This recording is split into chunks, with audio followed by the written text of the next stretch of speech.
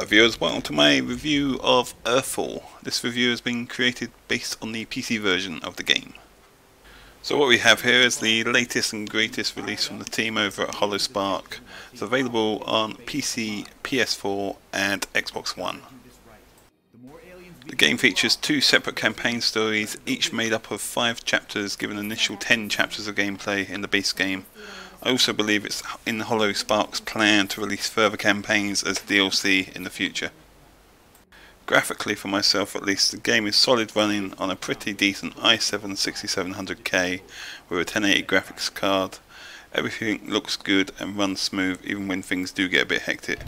I've never noticed any drops in frame rate etc. Having said that there are undoubtedly better looking games out there. It does look nice but it's certainly not top of class in the graphics department.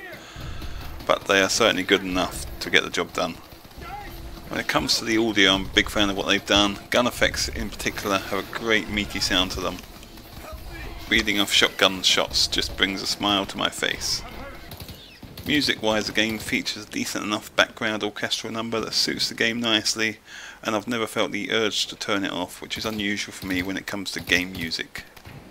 When it comes to gameplay, and you'll probably have heard this said about this game before, this is essentially Left 4 Dead with aliens replacing the zombies. It does everything pretty well whilst doing nothing exceptionally new at the same time. There are certain special alien types such as the Sapper, Thresher, Blackout and Whiplash, each having a unique talent to quickly send the battle into a further chaos. Probably one of the game's main defining points is the ability to set up barricades and turrets, etc. at certain points which enable you to prepare for battle before pressing a button that may set off a hold. I must also give special mention to the AI who really do have an annoying tendency to run in front of your gunfire and then moan at you for shooting at them. Initially it's a funny, charming feature, after a few hours though it can really frustrate.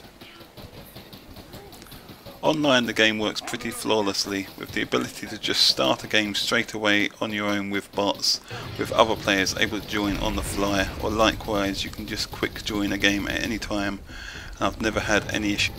Overall I would say this is a typical summer release game, it really is a decent shooter that does nothing new. This is HoloSpark's first game, so I think it's a very good baseline from them, and I look forward to what they will produce going forward.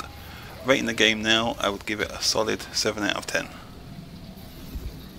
As always guys, hope you've enjoyed this review. If you have, hit that like button, subscribe to the channel, share the video, and until next time, I will see you later. Thanks for watching guys, see you.